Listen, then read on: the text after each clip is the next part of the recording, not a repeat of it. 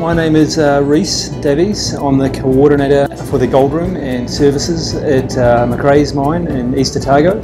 My job is basically to uh, pour the gold and everything that it entails. So that's uh, maintaining the gold room, uh, working with CIL, uh, carbon and leach, and making sure that we efficiently plate the gold and pour the gold and get it get it shipped out.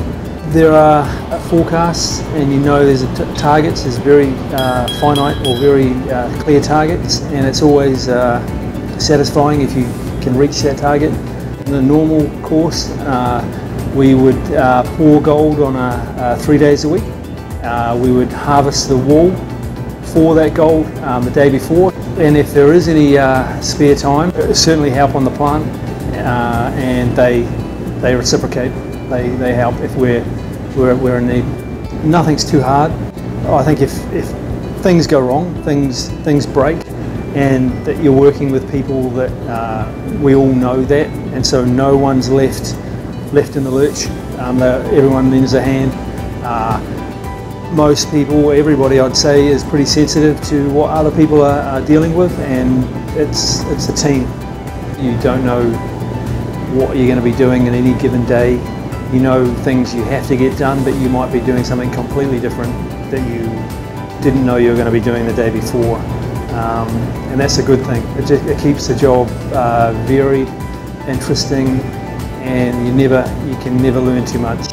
It is it is fun. Uh, I've poured a thousand bars, and I've been on the front page of the paper holding a holding a gold bar. I found a, a newspaper article, and it had uh, 1989 uh, Otago Daily Times front page had a mine and it was going to be open for seven to nine years and have 300,000 ounces and that, that was this mine and so that's quite incredible to know that they were planning on 300,000 ounces and here we are 30 years later and 5 million ounces plus.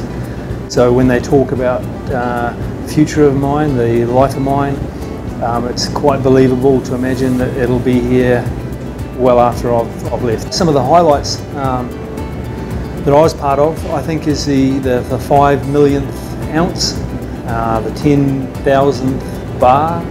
Um, it's just great to be here in, in, in relation to what the mine was initially uh, going to have. I think to be holding a, uh, a bar that contained the 5 millionth ounce is pretty pretty cool. If I had to talk to people about gold mining as a career, I'd say, um, in particular Macraes, it is so varied. This plant has uh, so many aspects to it. I could probably list 50 to 100 different positions, different positions. So I, I, li I live in uh, I live in Waikouaiti, and so I, I love that place. I, I initially uh, lived there for the commute, quite close, but now in hindsight, five years on, I wouldn't live anywhere else. It's really, really nice place to live. Um, just um, great beach, great people, uh, climate seems to have its own microclimate. I'm renovating a house, so that, that's absorbing pretty much all my time.